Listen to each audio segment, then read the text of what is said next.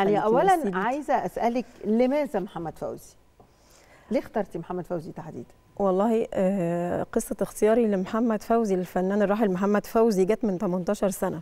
آه. من آه، تاريخ دخولي الأهرام التحاقي بالأهرام لأن أيوة. أنا آه، آه، نائب مدير تحرير آه، في مجلة نص الدنيا بالأهرام. آم، اخترت آه، محمد فوزي أقدمه علشان يكون تحدي أثبت بيه إن أنا صحفية ناجحة و- وإني أقدر آه، أكون صحفية في الأهرام. امم آه، قدمت وأنا بتدرب وقدمت فيه آه، آه، في خلال سنة قدرت أجمع داتا كان زوجاته الثلاثه كانوا لسه عايشين وأولاده وأحفاده. وقابلتي الثلاثه قابلت كله. آه. وكانت زوجته الأولانية آه، مدام هدايه كانت ده كان أول لقاء ليها. كانت رافضة خالص إنها يعني تتكلم أو تتحدث عن أي حاجة.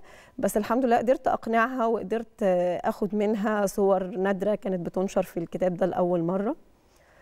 وبعد ما خلص الكتاب ده آه، كان هو دايما أقول عليه وش السعد عليا وسبب آه، تعييني في الأهرام ودخولي لنقابه الصحفيين. إحنا أكيد هنشوف صور أهي دي صور آه، دي صورة للكتاب أيوه. محمد فوزي و- والحقيقة بحييكي لأنه اللون الأخضر لون آه، خصب مبهج مليان حاجات ولايق على محمد فوزي. هو اخترته لأنه زي ما حضرتك بتقولي فعلا أنا حسيت دي شخصية محمد فوزي كان دار النشر عرضت عليا آه، أشكال كتيرة للغلاف لكن لقيت إن ده أنسب لون لشخصية محمد فوزي. الفنان محمد فوزي. مبهجة مبهجة مبهجة جدا يعني طيب